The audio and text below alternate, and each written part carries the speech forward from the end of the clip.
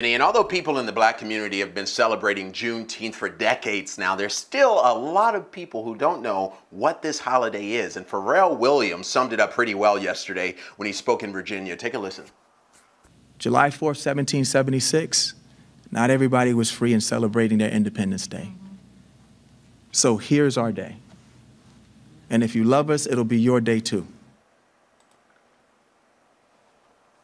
Yeah, like he said, it's sort of uh, black people's our 4th of July since slaves. My ancestors were not free when July 4th became a holiday. So Juneteenth is the day we celebrate. Uh, Juneteenth is celebrated on the 19th, June 19th, because in 1865, Major General Gordon Granger marched troops into Texas and finally enforced emancipation. And Rob, that's when we celebrate it for show. and we still do to this day. Jeez, Juneteenth, June 19th. Yeah. Yeah, no, it's such an important day, and uh, I, you know, I, I, hadn't heard that Pharrell Williams sound yet, and that just that is exactly what it's all about. Exactly what he said right there, and I think so mm-hmm. many people aren't aware of that, but it's very true. In 1776, right. not nearly half the country was free. So, uh, such an important day tomorrow, and so much happening here in the Bay Area. Thank you for that.